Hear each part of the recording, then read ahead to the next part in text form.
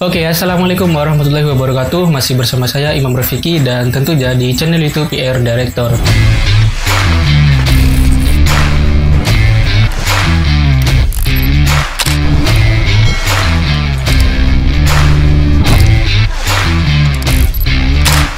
Jadi di video kali ini saya akan mereview sebuah lensa yang harganya murah tapi hasil tidak murahan yaitu lensa Seven Artisan 25mm f1.8 dan di sini saya menggunakan lensa ini pada mounting micro four third tapi lensa Seven Artisan ini atau brand lensa Seven Artisan ini tidak hanya dikhususkan untuk pengguna micro four third tapi juga disediakan di mounting Sony, Canon, dan juga Fujifilm.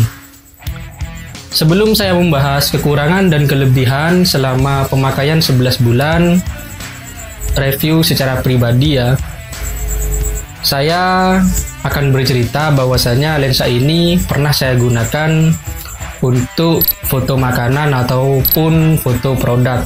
Dan lensa ini juga saya pernah gunakan untuk dokumentasi event organisasi atau kegiatan-kegiatan di organisasi. Dan juga saya gunakan uh, video promosi terhadap UMKM dan selanjutnya yaitu sering saya gunakan untuk membuat konten POV street photography.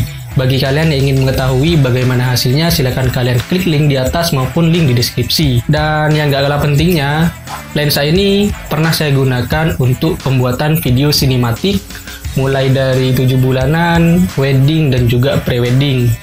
Silakan kalian klik link di atas untuk mengetahui hasilnya. Selain itu, juga saya pernah mengetesnya dari kondisi low light atau cahaya yang cukup minim. Silakan kalian klik link di atas maupun link di deskripsi. Sebelum saya melanjutkan kelebihan dan kekurangan dari lensa ini, silakan kalian lihat terlebih dahulu hasil video perpindahan manual fokus dari lensa Seven Artisan 25mm f1.8 dan juga ini dia hasil video perpindahan aperture. Silakan kalian lihat. Dan juga di sini silakan kalian lihat hasil jepretan dari mulai dari ketajaman dan juga bokehnya. Mulai dari f1.8, f2, f2.8 F4, F5.6, F8, F16. Nah, dan sekarang saya akan membahas kelebihan dan kekurangan dari lensa Seven Artisan 25mm f1.8 ini. Ini saya review uh, sesuai dengan uh, pengalaman saya pribadi. Yang pertama, dari segi harga. Harga untuk lensa Seven Artisan ini eh, harga barunya mulai dari 750 sampai 800-an atau bisa turun. Dan juga untuk harga bekasnya mungkin 600 500 itu sudah dapat tergantung dari kondisi lensanya. Yang kedua, bit quality-nya.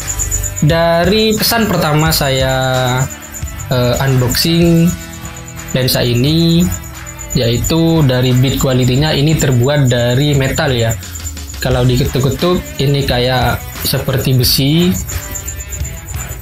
Dan untuk berat atau bobotnya agak berat ya. Dan jika dilihat ini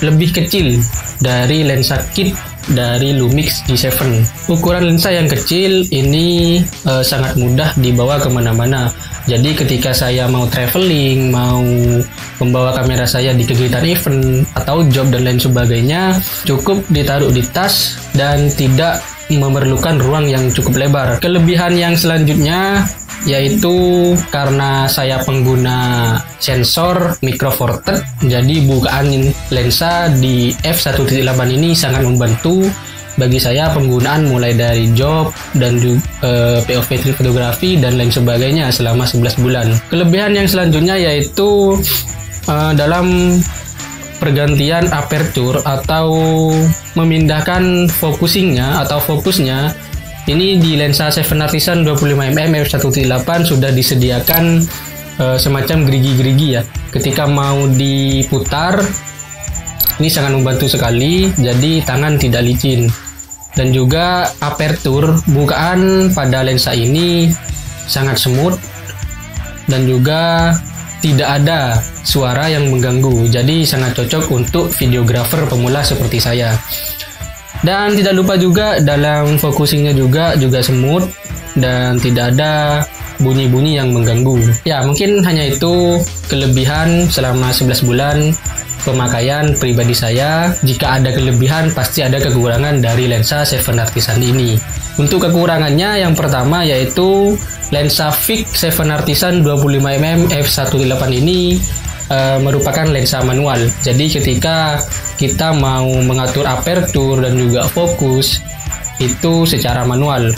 Nih, menggunakan tangan di pada lensanya. Yang kedua, kekurangannya yaitu fokusnya ini fokus di tengah. Jadi misal ini gambar, fokusnya itu berada di tengah saja.